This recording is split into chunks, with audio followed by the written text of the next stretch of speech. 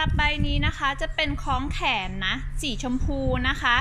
ตัวนี้เขาจะไม่สามารถทำมาเป็นสะพายสะพายบ่าได้นะ เพราะว่าอีกฝั่งหนึ่งของเขาจะเป็นแผ่นเหล็กแบบนี้นะคะ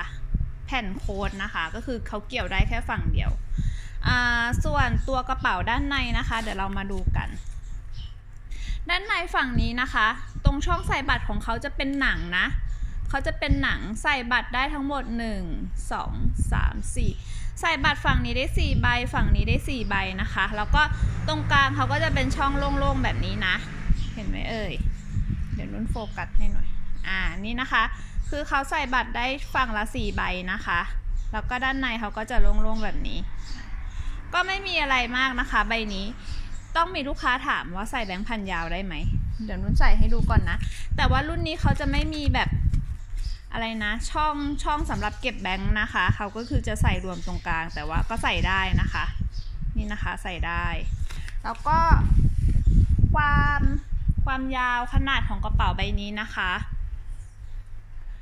อ่านุ่นวัดจากที่แถวแถวฐานกระเป๋านะคะ ประมาณ 7 นิ้วครึ่งนะคะ โดยประมาณนะ7นิ้วครึ่งนะคะ แล้วก็ ความสูงเขา ประมาณ 4 นิ้วกว่าๆนะคะ เกือบเกือบ5นิ้วนะคะ แล้วก็ความหนาของเขาประมาณนิ้วกว่าๆนะคะ เกือบเกือบนิ้วครึ่งนะคะ นี่นะ มันไม่โฟกัส นี่นะคะ ก็ใบนี้ก็ไม่มีอะไรนะคะ มีแค่นี้นะ แล้วก็ด้านหลังของใบนี้เขาก็จะมีช่องใส่บัตรให้หนึ่งช่องนะคะ ตัวอะไหล่เขาก็จะเป็นสีทองนะ นี่นะคะ ใครชอบก็สอบถามข้อมูลเพิ่มเติมได้นะคะนี่นะ